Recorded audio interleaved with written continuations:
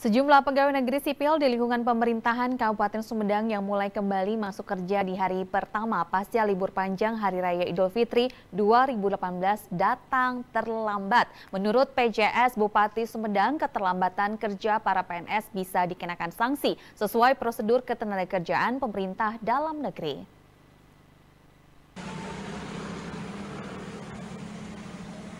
Jadwal kerja di lingkungan pemerintah Sumedang seharusnya masuk pukul setengah delapan pagi Kamis ini. Namun, apel pertama pada pagi hari masuk kerja baru dilaksanakan sekitar pukul setengah sembilan pagi di halaman kantor Pemkap Sumedang.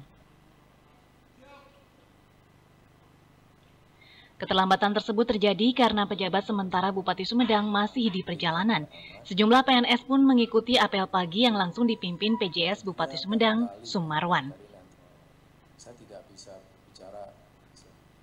Menurut pejabat sementara Bupati Sumedang, keterlambatan masuk atau sengaja bolos pasca libur panjang Idul Fitri akan berpengaruh pada pemberian tunjangan kinerja PNS. Sanksinya sudah jelas bahwa kan bahkan dari Menpan ya akan diberlakukan sanksi yang uh, sesuai dengan ketentuan. Ya mungkin apakah kalau tanpa alasan loh ya, kalau sakit ya kita pertimbangkan. Kalau tidak ada alasan ya harus ada sanksi, mulai dari yang ringan sampai sedang sampai berat. Ya mungkin sampai sedang lah ya nanti kita berikan sanksi. Diki Guntara, Bandung TV.